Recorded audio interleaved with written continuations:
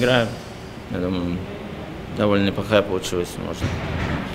Самое главное, то, что мы выиграли. И было моментами очень тяжело играть, потому что все, ну, все силы, наверное, и все эмоции оставили в игре СКА. Может, где-то даже игра получилась э, не очень зрелищная, и болельщикам, может, где-то было скучно. И Сегодня в первом периоде в меньшинстве убежал, да, попытался забросить, и во втором тебе это удалось. Понимаю, у вас такая наигранная была или Ну, слушайте, секрет все не будем раздавать, правильно? Ну, просто так получилось, сыграли активно, не выключились в нужных моментах, защитник не был готов к этому и забили свои моменты. И Валера Нечушки тоже молодец, подобрал шайбу, убежал, нужный гол забил. Какие мысли уже предстоит тяжелый выезд?